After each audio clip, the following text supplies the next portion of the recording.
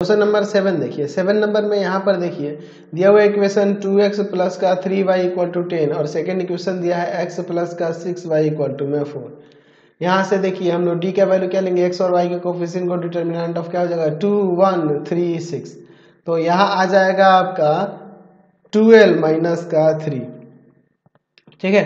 यानी आ जाएगा नाइन जो कि ज़ीरो के इक्वल नहीं है। अब चलिए डी वन निकालते हैं। तो डी वन क्या हो जाएगा? तो इसी में क्या करेंगे? फ़र्स्ट वाले जो कॉलम में एलिमेंट देख रहे हैं, इसकी जगह पे ये कॉन्स्टेंट आ जाएगा। टेन फोर थ्री सिक्स यानी इसका वैल्यू यहीं पे निकाल लेते हैं। क्या हो जाएगा आपका? सिक्सटी माइनस का ट्वेल्व यानी आ जाएगा फोर्टी एट यही ना हो जाएगा जी?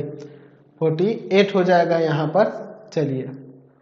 अब देखिए d2 का वैल्यू क्या हो जाएगा? तो d2 का वैल्यू इसी में d वाले वैल्यू में ही क्या करेंगे? डिटर्मिनेंट ऑफ़ क्या करेंगे? यहाँ पर हम लोग सेकेंड वाले कॉलम को हटा करेंगे इसकी जगह पे ये कांस्टेंट को ले लेंगे टू वन टेन फोर यानी कि आ जाएगा आपका एट माइनस का टेन एट माइनस का टेन माइनस का टू हो जाएगा।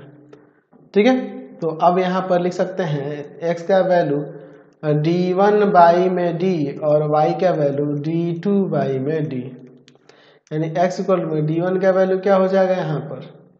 फोर्टी एट और y में d d का वैल्यू नाइन और y का वैल्यू यहाँ पर हो जाएगा माइनस का टू और y में नाइन चलिए तो यहाँ पर अगर थ्री से इसे काटेंगे तो थ्री थ्री जा नाइन और थ्री से इसे काटेंगे तो यहाँ पर हो जाएगा सिक्सटीन तो यानी सिक्सटीन बाई थ्री एक्स का वैल्यू और वाई का वैल्यू माइनस का टू बाई नाइन हो जाएगा. समझ गए?